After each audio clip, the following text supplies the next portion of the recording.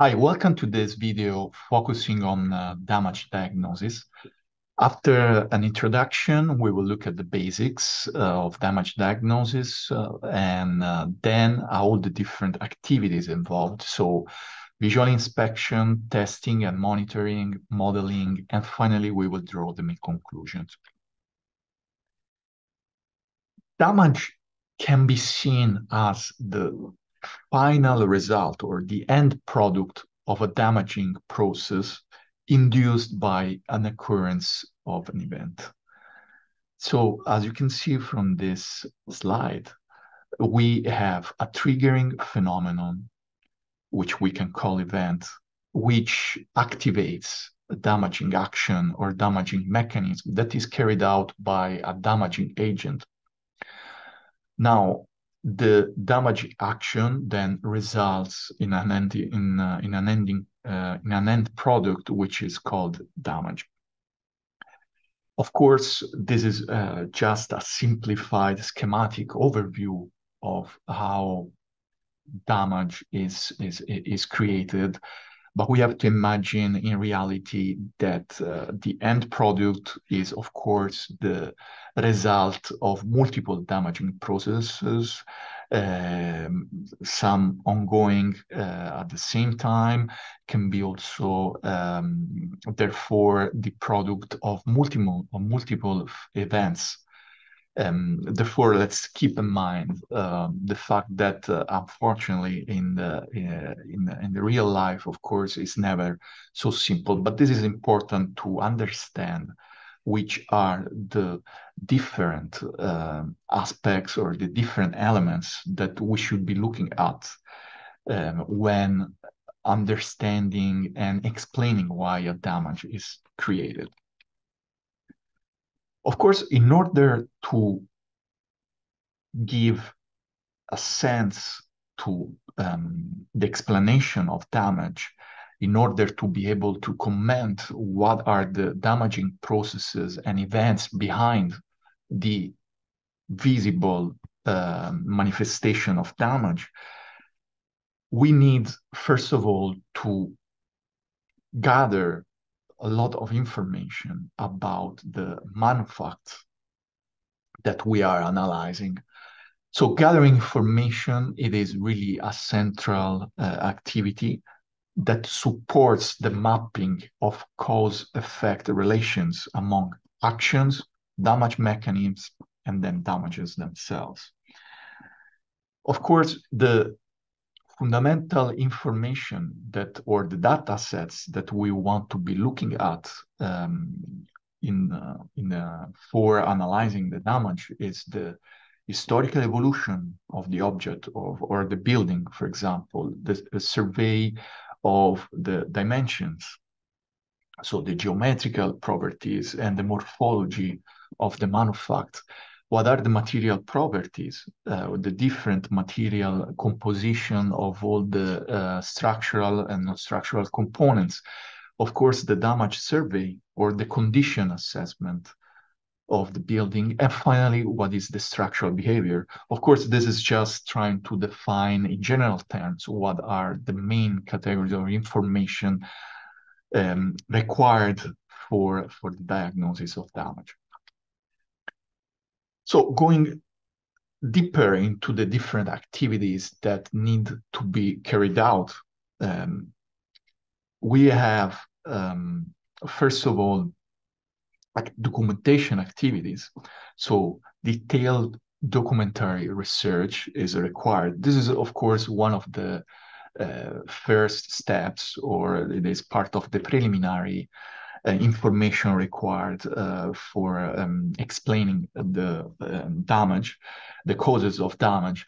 So we need to collect drawings, photos, evidence of alteration throughout or restorations throughout history, technical, old technical reports. So whichever, whatever information might help us in uh, uh, in uh, understanding better the uh, past behavior uh, of the building and also whatever information helps us in understanding uh, the different materials, the geometry, the alterations. Then another fundamental step is the visualization, the visual inspection. So inspection, of course, is um, one of the most important and basic step. Uh, usually is carried out by professionals or skilled and trained uh, teams that in situ try to identify damage and provide all sort of information um, that can be useful for for for understanding uh, the damage. Then we have testing. So the third step is testing. Testing can be done in situ so during the inspection usually, or it can be laboratory testing. So by collecting samples during the visual inspection that can be tested later on in the laboratory. Um, then we have monitoring. So monitoring is usually uh, related to the continuous measurement and or monitoring, of course, of, of, of important parameters of the buildings.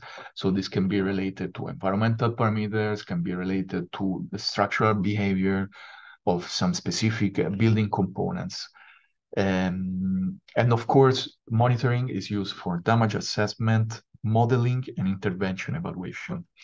So finally, modeling. Modeling is um, validated and updated using field data and helps understanding the behavior of damage. Of course, all these different activities are relevant and important for uh, to um, damage diagnosis. Of course, whether we carry out all of them or just some of them and to which level of detail we carry out each of them depends on many different parameters. So mostly uh, the um, ac accuracy accuracy of the um, uh, diagnosis that we need and of course the availability of resources so we, we talk about that most of these um, steps or activities are very uh, resource consuming so let's look one by one at the different activities. So the visual inspection, as I said before, visual inspection is, is, is really the basic prerequisite for an effective building maintenance. And it, it, it constitutes in the recognition of main factors affecting the building. For example, external actions or, or effects uh, or damages um, the main scope of the inspection is to check the building for problems and then to assign to each problem an action. So visual inspection uh, can be carried out um, using different tools. So once on site, it is important that all the information we can gather at that moment, we do. So photo, photos, videos, audios. The, so this is simply done today with the uh, mobile phones that we have at our disposal. Sketches, drawings, um, for example, of some specific uh, uh, um, room layout, um, or help uh, help uh, with sketches in understanding where the photo was taken or the video was taken or where the damage is exactly on which component in a room.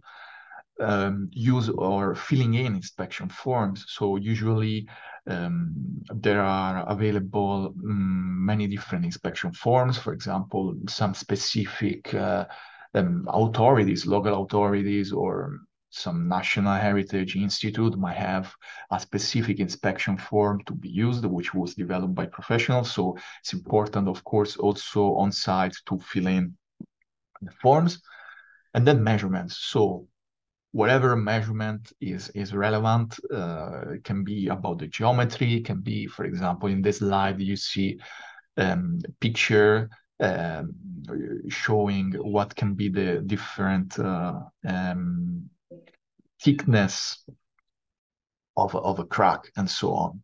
So condition survey of historic buildings necessitates a series of information concerning the historic research, geometric typology, previous intervention, construction techniques, use materials, and then damage assessment.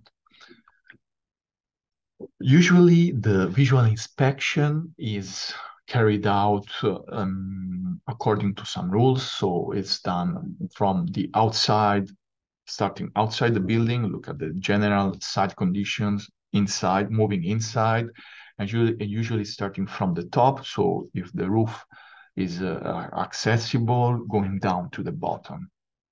So this is just a, a standard procedure and it is also important to know what is the workflow before going to site in a way that we can have maybe a pre-made uh, kind of structure of a report that help us in uh, um, having a list of things we don't have to forget. So talking about one not to forget on the list, we can say that, of course, we have to start from the inspection of, this, of the site as I said before. Then look at the roof, the chimney, and the gutters, walls, plasters, and decorative features uh, of the interiors, the joinery, the carpent, uh, the carpentry work, windows, doors, attic, cellar areas. So basically, on site, we are there to make sure we know what are the present condition of the building, what are the damages, which can be the actions that can be carried out immediately, for example, to stop a leakage and so to prevent further damage, some sort of emergency um, repair work, and so on. This is the visual inspection. Moving to the next activity uh, concerning damage diagnosis, um, we, we, can speak about testing. As I said at the very beginning, testing, we can distinguish between in situ or laboratory tests. Tests are usually oriented to identify material composition, what the existing alterations, the working stress levels, uh, material properties, soil, soil foundation properties, damage distribution, and, and so on. So with the testing, we can really um, try to evaluate different uh, aspects of the building and uh, the material and the component components. We can distinguish uh, between three categories of testing. So we have testing based on non-destructive techniques, minor destructive techniques and destructive techniques. Of course, these three categories are self-explanatory. And uh, of course, when dealing with cultural heritage, the minimum impact, the minimum intervention, or the minimum impact of testing is of uh, paramount importance. So, non destructive techniques, when possible, are preferred with respect to the other categories. Of course, moving to the destructive techniques that can be taking samples, for example, of uh, masonry um, to be tested in laboratory, sometimes are needed in order to um, assess and evaluate in a, a reliable way uh, for example, me mechanical properties of the material. So sometimes um, the other more invasive techniques are preferred um, in a way to sacrifice a bit the uh, conservation, but increase the uh, reliability and the accuracy of data um, gathered. So let's look, because we said that non-destructive techniques are the most relevant for cultural heritage um, or the preferred techniques. So let's look at the main principles be, be, behind these uh, techniques. So we have um, techniques based on sound. So for example, uh, ultrasound, like physical stress waves going through the material and measuring the uh, effect on the waves um, due to the uh, uh, going through the material, penetrating radiation, so attenuation, attenuation sorry, of a beam of particles. Then we have optical uh, methods, so uh, infrared, ultraviolet wavelengths, for example, thermal, infrared thermal uh, thermocamera are usually used for thermal uh, tomography. So understand uh, by looking at the distribution of uh, surface temperatures, we can understand uh, where it can be, for example, some uh, um, material heterogeneities, where it can be some voids, where it can be some detachment, for example, of plasters, where there can be some moist areas in a, in a wall. Then we can have the electromagnetic methods, so based on electromagnetic waves going through the material. So as the ground penetrating radar for example, is a typical uh, technique used in, uh, in story buildings. So let's move to the other step, which is monitoring.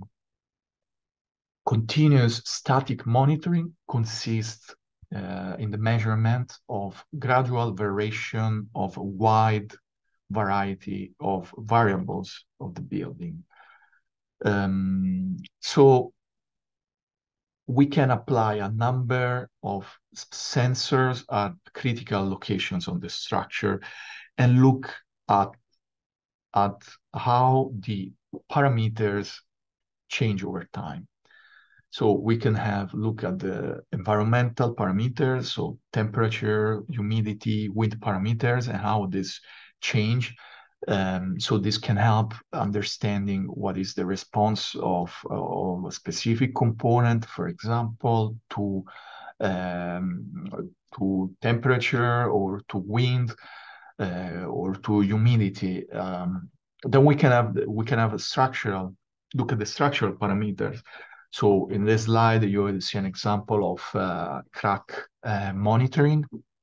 So look at how the uh, crack opening um, uh, varies throughout time, throughout different seasons. And so with uh, uh changing temperatures and humidities and so on. So look how uh, the crack opens and closes. Um, measure displacements, measure deformations, measure stresses, and so on. then we look we can look at the modeling. So modeling um, contemplates and simulates all the aspects that influence structural response of a building. So geometry and morphology material properties and external actions structural evolution building and soil interaction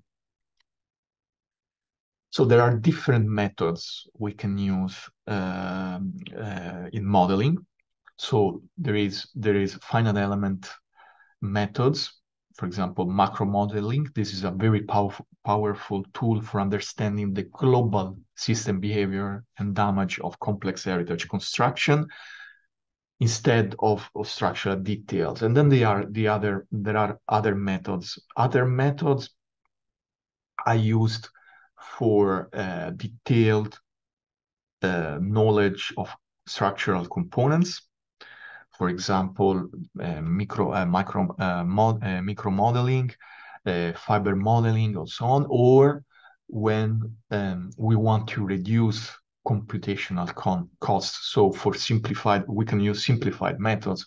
So rigid deform macro elements method, discrete element method, method, and, and so on. So here again, we have a different um, tools that we can use and usually it's the professional that needs to decide which level uh, of, of detail needs to be achieved and uh, what is also the important importance of, of, of, a component so if one simplified method is applicable or rather a much more detailed method is is is, is needed of course this influences the influences the um, um, consumption of resources. In conclusions, we um, can say that diagnosis aims at determining uh, cause effects.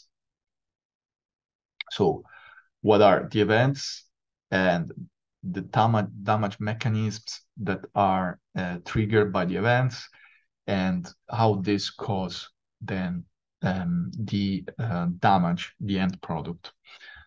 Data gathering is uh, crucial for diagnosis. So we need to have a lot of information about the building, different aspects in order to be able to make conclusions of what uh, are uh, the cause effects um, going on. And this is usually done uh, through different activities. Uh, so we looked at the visual inspection, testing, monitoring, modeling, but also the initial documentation and so on. Another important aspect that we have seen is that the um, ac accuracy uh, is resource dependent. So it's up to the professional to decide and basically design which uh, activities and to which level of detail the activities should be carried out. Thank you for your uh, attention.